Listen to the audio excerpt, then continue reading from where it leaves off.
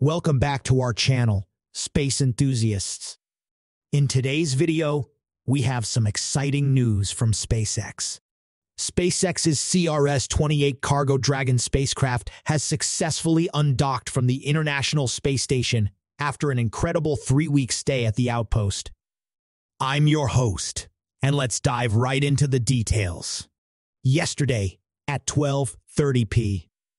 MEDT 1630 UTC.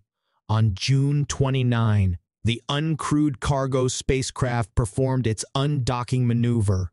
Throughout its time on the ISS, Dragon was loaded with approximately 3,600 pounds, 1,600 kilograms, of precious cargo, including vital research samples, stored inside Dragon's science freezers. Now, it's time for Dragon to return to Earth. Following its departure from the ISS, the spacecraft has started its trajectory back to our planet. Tomorrow morning, June 30, it will re-enter the Earth's atmosphere and perform a parachute-assisted splashdown off the coast of Florida.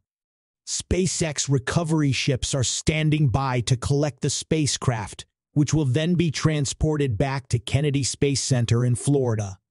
Once at Kennedy Space Center, time-critical tests will be carefully offloaded from Dragon.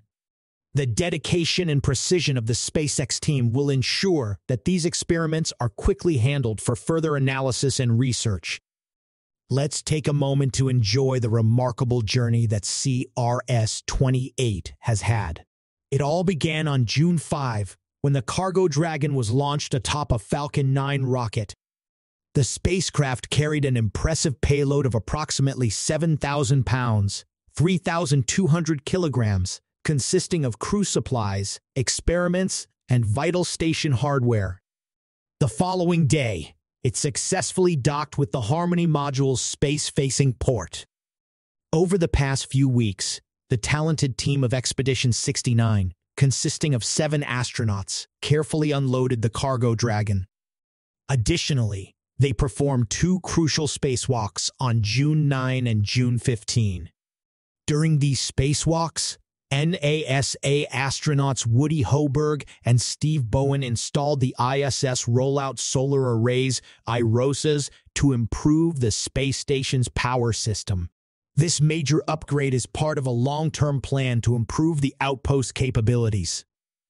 The safe installation of these IROSAs marks the fifth and sixth time they have been deployed since 2021. Excitingly, Redwire Space has been approved to construct the seventh and eighth IROSAs, which are planned for launch by SpaceX in 2025.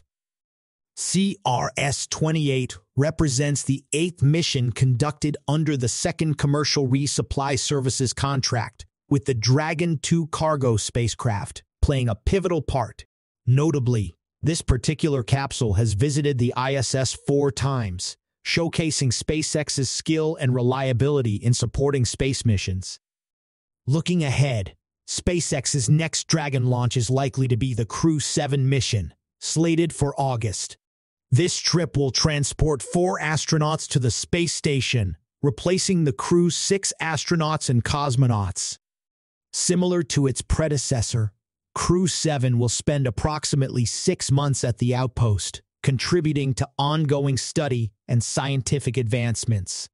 As we conclude this update, we eagerly await the next cargo variant of Dragon, which is expected to launch no earlier than December of this year. We can't wait to see what exciting finds and breakthroughs await us on this upcoming mission. That's all for today's video, space enthusiasts. If you enjoyed this update, don't forget to like and subscribe to our channel for more fascinating space news. And as always, keep looking up to the stars. Until next time, take care and stay curious.